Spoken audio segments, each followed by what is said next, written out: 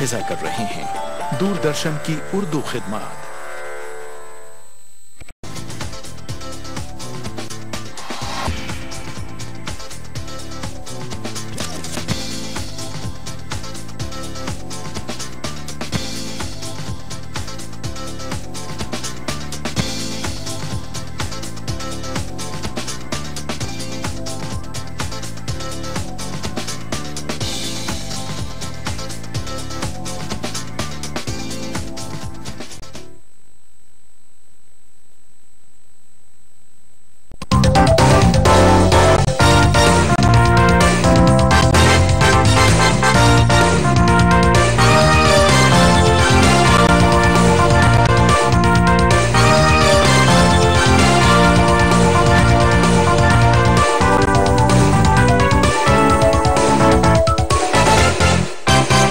नाजरीन आदाब, प्रोग्राम सरगर्मियाँ लेकर हाजिर हूँ मैं उजमा जाफरी। इसमें हम आपके लिए लेकर आते हैं उर्दू जबान अदब और तहजीब सकाफत से वाबस्ता सरगर्मियाँ। इसके अलावा आपको तामीरी और तरक्याती मनसूबों के साथ ही समाजी मसाइल और उनके हल के तौर तरीकों से भी रूबरू कराने की कोशिश करते हैं। सबसे पहले आइए देखते हैं अहम सुर्खियाँ।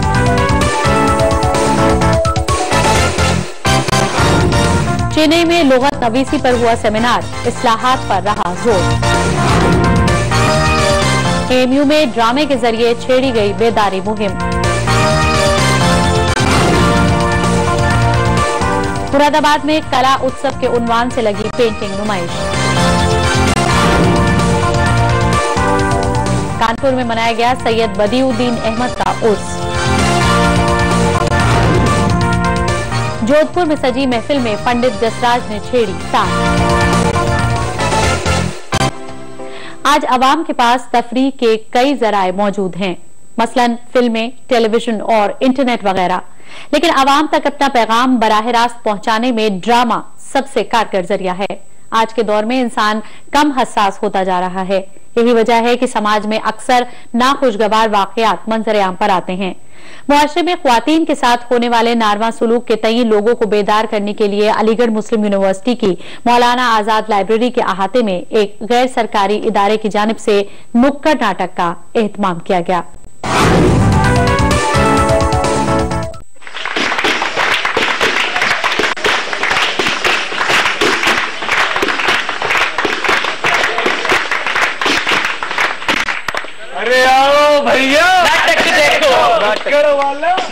अवाम के पास तफरीह के मुख्तलिफ़ जराए होने के बावजूद ड्रामों और नाटकों की अहमियत कम नहीं हुई है। ड्रामे लोगों के लिए महज तफरीह का ज़रिया नहीं है। इसके ज़रिए समाज में होने वाले सही और गलत कामों से आवाम को बेदार करने की हर मुमकिन कोशिश की जाती है। आलमी योम खातन के मौके से अलीगढ़ मुस्लिम यूनिवर्सिटी में मुआरे में खातन की सूरत हाल और उन पर होने वाले तशद के कई लोगों को बेदार करने के मकसद से एक गैर सरकारी इदारे की जानब से नुक्कड़ नाटक का अहतमाम किया गया। दामन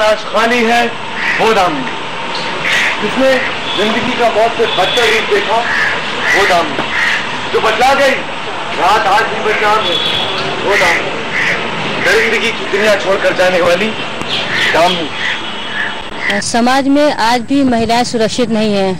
आज भी औरतें घर से निकलने से पहले हज़ार दफ़ा सोचती हैं। और कुछ नहीं पता है कि हम जब घर से निकलते हैं तो हम वापस घर पे सेफली पहुँच पाएँगे भी कि नहीं पहुँच पाएँगे। इस नुक्कड़ नाटक के ज़रिए हमारा मकसद था कि हम समाज में एक ऐसा मैसेज दें ताकि लोग जागरूक हों, लोगों को समझ में आए कि जब उनकी बहू बेटियाँ भी घर से बाहर निकलती हैं तो लोगों के दिमाग में जो फीलिंग्स आती हैं, जो लोगों के कमेंट्स आते हैं, उसका रिएक्शन क्या होता है? तो ज़रूरी था कि हम खुद अपने ऊपर ये चीज़ करके दिखाएँ कि आप देखिए जब हम घर से बाहर निकलें तो हमारे साथ क्या हो रहा है? हम मेंटली फिजिकली हर तरीके से हमें बार बार मरना पड़ता है। जिस तरीके के हमारे पास कमेंट्स आते हैं, जिस तरीके से हमारे पास छीटें उछाली जाती हैं तो हम चाहते हैं कि वो सबसे बेहतर तरीका है कि अगर हम लोगों को, लोगों के अंदर से गंदगी ख़त्म करें, लोगों के जहन साफ़ करें तो सबसे बेहतर है कि हम समाज को जागरूक करें।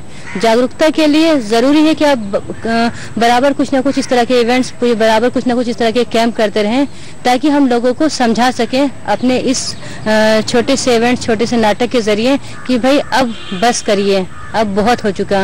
अब हम सबको मिल करके उन गंदगी को खत्म करके औरतों की सुरक्षा के लिए आगे बढ़ना है। हो तू बता तू कैसा है? ओ तेरी बीवी मर गई क्या? इस शेरों शायरी से उसे बटा और बेटी हो तो खवातीन के साथ होने वाले नारवा सलूक के लिए हमारा नज़रिया भी बहुत हद तक जिम्मेदार है। सर दामिनी मर गई तो हम मज़े लेना छोड़ दे। अरे अभी तो हमारी उम्र है मज़े लेने की। क्या कर क्या रहे हो हैं? पढ़ाई? पढ़ाई कर रहे हैं इंजीनियर सेकंड ईयर में हूँ। और ये ज़्यादा आकार मत दिखाइए मेरे बाप भी पुलिस कई बार देखा गया है कि खातन की शान में गुस्ताखी करने वाले अफराद मुख्तलिफ़ वजूहात के सबब सख्त सजा से बच जाते हैं। जो कि समाज में गैर कानूनी हरकतों को बढ़ावा देने में मददगार भी बन जाती है। बहन कहने वाले बेटी कहने वाले उसकी उसकी माँ से बोली होगी। खामोश थी। खामोश थी। वो तालीम खामोश थी।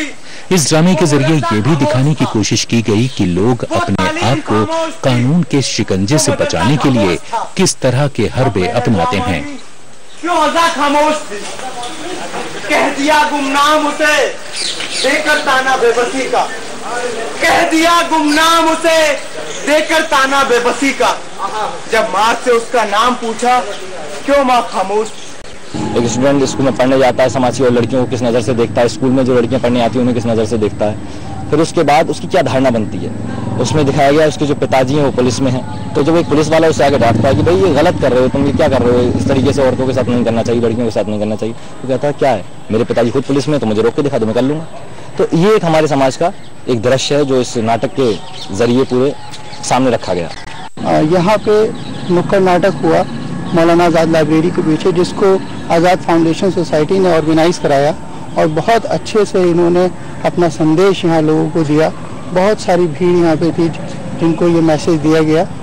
इसमें जो पहले दिल्ली में एक रेप रेप विक्टिम हुआ था दामिनी के नाम से। उसी कैरेक्टर को इन्होंने फोकस किया है और उसके ज़रिए उन्होंने बताया कि समाज में ये जो कुरीतियाँ और जिस तरीके से अ, महिलाओं को परेशान किया जाता है उनके साथ ज़बरदस्ती की जाती है उनका अ, उनके साथ अत्याचार किया जाता है उसका कैरेक्टर इन्होंने बना करके और ग्रुप में इन्होंने प्रस्तुत किया जिसका मैं समझता हूँ कि बहुत अच्छा समाज के इफ़ेक्ट पड़ेगा। और ये इस तरह के प्रोग्राम होते रहने चाहिए। आंटी तुम तो ऐसे रो रही हो जैसे दामिनी तुम्हारी बेटी थी। वो मेरी बेटी नहीं थी। तो फिर तुम्हारी बेटी कौन है? आलमी योम खवातीन के मौके से मुनद किए गए इस ड्रामे के ज़रिए जो पैगाम देने की कोशिश की गई वो वाकई काबिल तारीफ़ है। क्यों हंगामा कर रही हो? हाँ हंगामा कर रही हूँ। हंगामा कर रही हूँ मैं।